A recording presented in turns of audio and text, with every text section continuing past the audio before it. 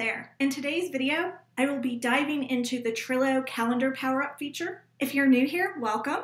I'm Mariah, and my business is Bloom Hustle Grow. I help service based entrepreneurs get their business operations organized and optimized, all to make the hustle happier. The Trello Calendar Power Up is one of the power ups that I use most often. It's great for planning launches, project management, and more. The calendar view is a Trello power up. So I actually do have it activated already on this board and it shows up right here. But if you go to show menu and then you go to power ups, if we disable it, it'll go away and then you can go add power up,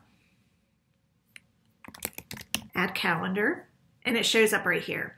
And you have to have due dates on your cards for the cards to show up on the calendar view. So let's open up the calendar view and you'll see I have some cards that have some due dates on them. So they're right here. This is a really good tool, as I mentioned, for like project management or launch strategy or like your social media planning. So anything that you need to plan with due dates, this can be a really helpful tool to do that. And if you drag and drop a card, so let's drag this one from the 25th to the 28th, it will also reflect on your board. It says the 28th and Instagram's still on the 25th.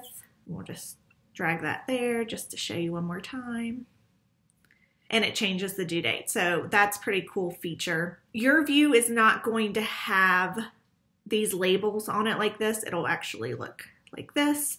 I do think labels are really helpful if you're like planning out a launch strategy or something using the calendar view. And I use a Chrome extension called Tray Labels and actually lets me read what the label color represents. And you can find another YouTube video about that if you want to dive into using that Chrome extension. But I think that makes it particularly helpful when planning. You can also open up any of these cards right from the calendar view. And so you can kind of see all the details on the card there. You have week or month view, and then you can also add this to your Google Calendar. So there's a link right here, and all you do is just add it as another calendar to your Google account. And that way, if you want to track your stuff from your Google account, anything that's due on this particular board, you can do it from there. It's a pretty simple power up, but like I said, it's really useful if you're planning something out that has a bunch of due dates. I particularly love it for launch strategy and like social media posting. You can also activate it from here. If you go to due date,